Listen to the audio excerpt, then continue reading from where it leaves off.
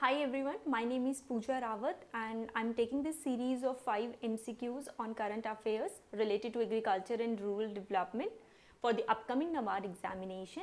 Those who haven't watched these sessions, you can go and check out the previous sessions and this is the four lecture in that series, right? Let's start. Those who are watching this channel for the first time, you can subscribe to our channel and press this bell icon for the latest updates you can also join our telegram channel so that you can get access to free quizzes and you can also post your queries there, right? Let's start our session with the first question. So first question says consider the following statement with respect to Sukanya Samriddhi Yojana. Sukanya is a girl child.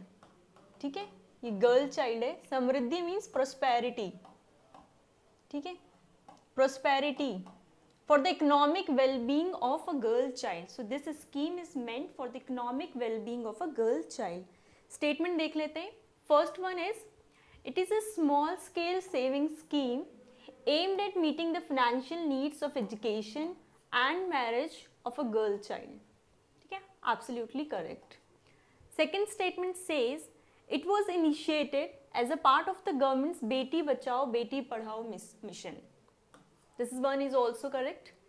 It was launched in the year 2016. This is wrong. The scheme was launched in the year 2015, right? So the correct statement here is B, first and second. Let's look at the uh, explanation of this scheme. Let's discuss it in detail. So this scheme was launched by Ministry of Women and Child Development. Remember this. The objective was to ensure a bright future for the girl child by facilitating their education and marriage expenses. Right? As I already mentioned, this one is for, this scheme is for the economic well-being of a girl child. Launch year was 2015 as a part of Beti Bachao Beti Padhao. Eligibility देखें और beneficiaries देखें इसके कि कौन इसके beneficiary होने वाले हैं so the girl child must be below the age of ten years तो जब ये स्कीम जब आप कंट्रीब्यूशन स्टार्ट करेंगे इस स्कीम के अंडर उस टाइम पे जो गर्ल चाइल्ड होगी, उसकी एज टेन ईयर्स से कम होनी चाहिए। Then one account is allowed per child ठीक है तो एक गर्ल चाइल्ड के नाम पर एक ही अकाउंट होगा। And then a family can open two Sukanya Samriddhi Yojana accounts ठीक है maybe a family can have more than two girls right तो तीन या चार गर्ल्स भी हो सकती हैं, लेकिन जो सुकन्या अकाउंट होगा that will be only for the two girl child So this is the limit here. If we talk about the deposit limit, the minimum limit is 250 and the maximum limit is 1 lakh 50,000. This, this is an yearly uh, lim, uh, limit ठीक है तो year yearly uh, जो होगा पर N जो uh, यहाँ पे limit set की गई है that is between 250 to one lakh fifty thousand validity की अगर बात करें तो this account will be valid for 21 years ठीक है लेकिन जो डिपॉजिट होगा that could be up to 14 years of age only. Now, the account will automatically close if the girl child gets married before the completion tenure of 21 years. ठीक है तो हो सकता है जो गर्ल चाइल्ड है उसकी शादी 19 ईयर्स में हो जाए या 20 ईयर्स में हो जाए ठीक है in that situation the account will automatically closed moving forward let's talk about the premature withdrawal ठीक है? तो प्री मेच्योर विड्रॉल कब हो जाएगा? जिस टाइम पे 18 इयर्स की एज जो है, वो गर्ल चाइल्ड जो है, वो 18 इयर्स की एज अटेन कर लेगी. So at that time premature withdrawal could be done लेकिन उसके ऊपर भी जो है, एक लिमिट लगाई गई है, एक कंडीशन लगाई गई है. It's only limited fifty percent of the balance ठीक है? तो जितना भी आपने अकाउंट में पैसा जमा किया है प्लस जितना भी इंटरेस्ट उसमें जनरेट हुआ है, उसका 50 परसेंट ही विड्रॉल हो सकता है। ठीक है?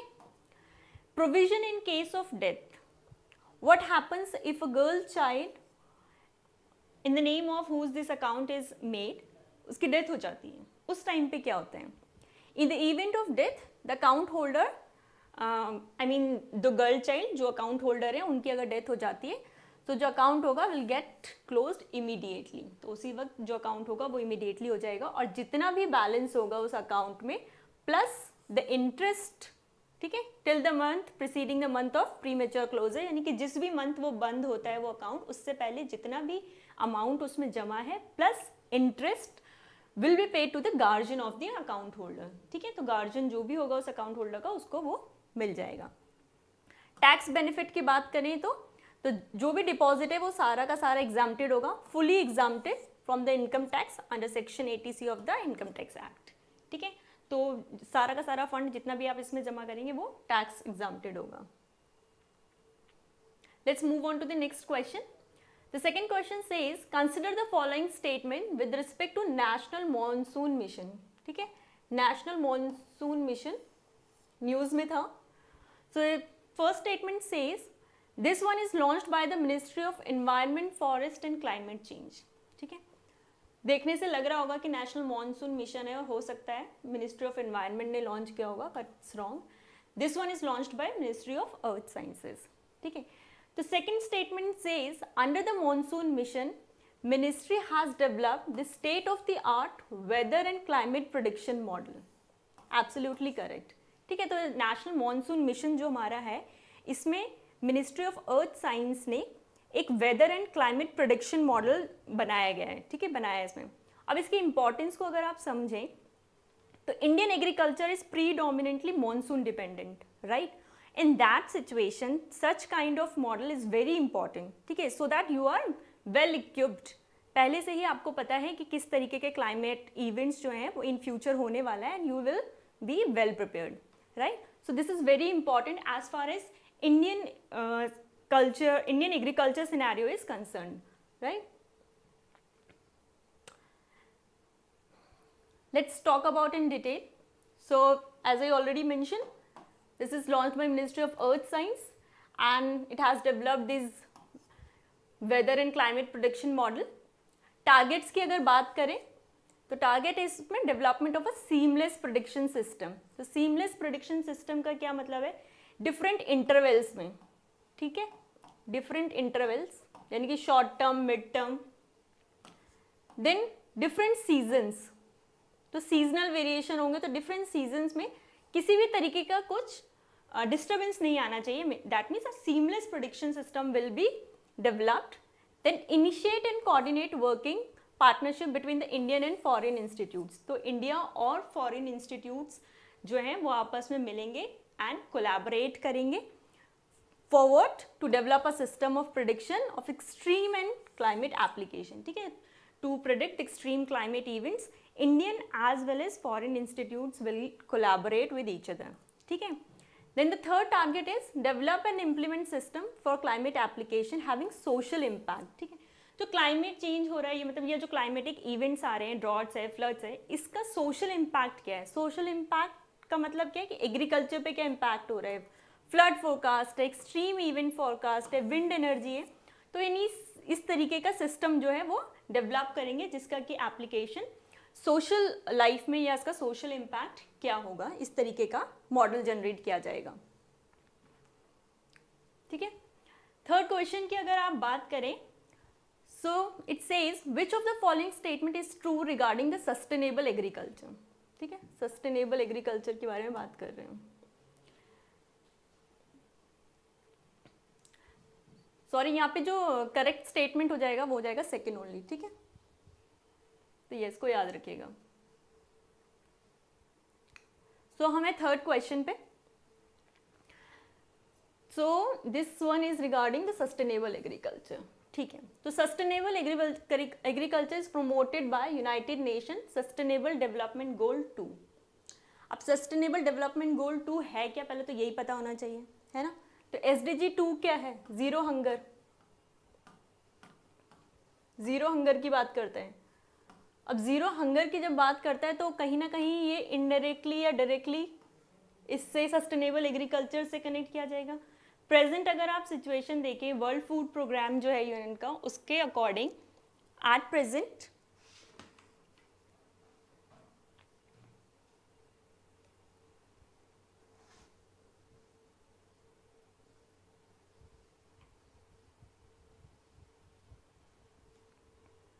one thirty five million people suffer from acute hunger ठीक है? और कोविड नाइन्टीन की वजह से कोविड पैंडमिक की वजह से ये प्रिडिक्ट किया जा रहा है कि this number can be doubled ठीक है तो इस सिचुएशन में सस्टेनेबल एग्रीकल्चर की इंपॉर्टेंस बहुत ज़्यादा बढ़ जाती है now the second statement here is sustainable agricultural practices are intended to protect the environment expand the earth's natural resource base, and maintain and improve the soil fertility. तो sustainable agriculture का मतलब क्या है कि the agriculture that is that is sufficient to cater to the present needs as well as without hampering the needs of the future generation. ठीक है तो future generation की needs को भी cater करेगी and also to the present generation. तो ये है sustainable agriculture and also intends to protect the environment and soil fertility, right? So both of these uh, statements are correct. The correct option here is C. Let's move on to the next question. Question number 4. Consider the following statements regarding PM formalization of micro food processing enterprises. PMFME scheme. ठीक है तो ये scheme अभी recently launch की गई थी इसके बारे में ये तीन स्टेटमेंट है इसके बारे में जान लेते हैं first statement says it aims to enhance the competitiveness of existing individual micro enterprises ठीक है note down here existing individual micro enterprises in the unorganise segment of food processing industry ठीक है तो माइक्रो इंटरप्राइजेस को ये support करना चाहता है, ऐसा फ़र्स्ट स्टेटमेंट में लिखा है। Then it will provide support only to the individual entrepreneurs ठीक है इंडिविजुअल एंटरप्रेन्योर्स को करेगा। अब इस स्कीम में there is a G I S one district one product digital map of India ठीक है, इसी स्कीम का पार्ट है ये ODOP digital map of India this will also be created this is absolutely correct second statement is wrong तो सिर्फ़ individual entrepreneurs के लिए नहीं है एफ़ जो हैं farmer producer organisation self help groups इनको भी सपोर्ट दिया जाएगा। फ़र्स्ट स्टेटमेंट इज़ करेक्ट ठीक है? So correct option here is C detail में अगर इसके बारे में हम पढ़ना चाहें तो यहाँ देखें आप। So this scheme was launch by ministry of food processing and industries this is a centrally sponsored scheme under the Atmanirbhar Bharat Abhiyan ठीक है? तो आत्मनिर्भर भारत अभियान जैसे कि सेल्फ रिलायंस पे फोकस करता है, उसको इन्हांस करने की बात करता है। ठीक है? तो इसी के अंडर ये स्कीम लॉन्च गई है PM formalisation of micro food processing enterprises scheme तो जो माइक्रो फ़ूड एंटरप्राइजेस हैं, वो क्या है? अनऑर्गेनाइज जितनी भी हैं, उनको क्या क्या फॉर्मलाइज किया जाएगा। ऑर्गेनाइज किया जाएगा। It aims to enhance the competitiveness of the existing individual micro enterprises ये हम डिस्कस कर चुके हैं इन द अनऑर्गेनाइज सेगमेंट ठीक है तो इनको फॉर्मलाइजेशन करना है हमें। ठीक है and promote formalisation of sector as we have already discuss Then it provides support to FPOs, self-help groups and producer cooperatives. तो इंडिविजुअल entrepreneurs के लिए ही नहीं है इसके साथ साथ FPOs, SHGs और कॉपरेटिव्स uh, को भी सपोर्ट करेगा। बजट की अगर बात करें तो 10,000 करोड़ का आउटले है। For the period of 2021 to 2024-25 यानी for the next five years 10,000 rupee crore का जो है बजट इसके लिए has been laid out The scheme envisions to directly assist to 2 lakh micro food processing units. ठीक है? तो दो lakh micro food processing units को डायरेक्टली जो है यहाँ पे फ़ायदा होने वाला है इस पर्टिकुलर स्कीम के रिगार्डिंग और असिस्टेंस क्या दिया जाएगा? फिनेंशियल होगा टेक्निकल होगा एंड बिज़नेस सपोर्ट ठीक है? तो सिर्फ़ क्रेडिट uh, ही नहीं दिया जाएगा there will be a technical as well as business support ठीक है? तो ये हो गई। Now there is a capacity development component which has also been added to this scheme ठीक है? तो अभी रिसेंटली ऐड uh, किया गया है दे कैपेसिटी डेवलपमेंट कॉम्पोनेंट तो इसके अंदर क्या किया जाएगा? इसके अंदर ट्रेनिंग दी जाएगी ठीक है? तो जितनी भी ट्रेनिंग रिक्वायरमेंट होगी that will be covered under this particular component is also another added feature here which is G I S one district one product digital map of India तो जो स्टेट होंगे, वो सारे अपने डिस्ट्रिक्ट्स के लिए जो प्रोडक्ट हैं, उनका आइडेंटिफिकेशन करेंगी, ठीक है? और एक डिजिटल मैप बनाया जाएगा। तो इससे क्या होगा, जितने भी स्टेक होल्डर्स हैं फ़ूड प्रोसेसिंग इंडस्ट्रीज़ में they will know about all the products that are specifically I mean that can be specifically pro procured from these districts, right? तो काफ़ी important हो जाता है ये So let's talk about this ODOP digital map here. Sorry.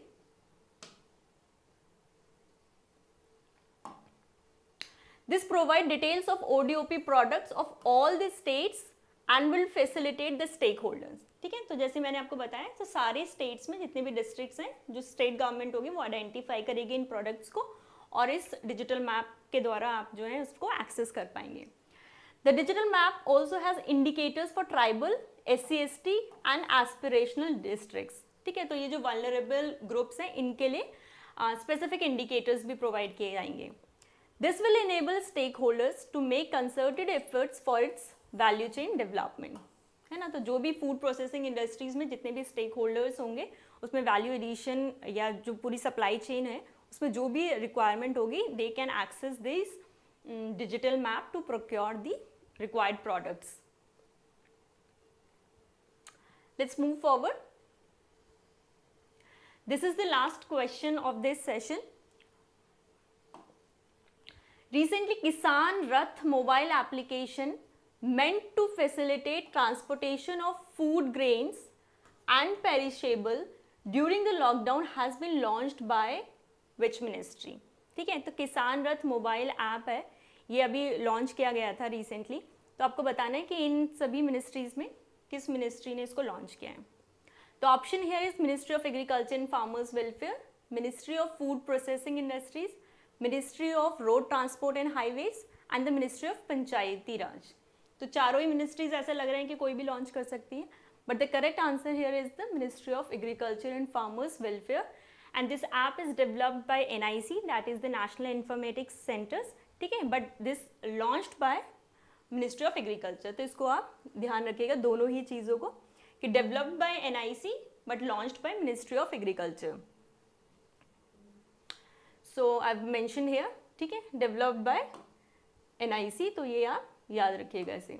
Then it is available in eight languages ठीक है? तो ये जो मोबाइल ऐप है उसको एट लैंग्वेजेस में एक्सेस कर सकते हैं including Hindi and English both of these languages are available then the app is expected to connect farmers and traders to a network of more than 5 lakh trucks and 20,000 tractors ठीक है? तो इस app में होगा क्या?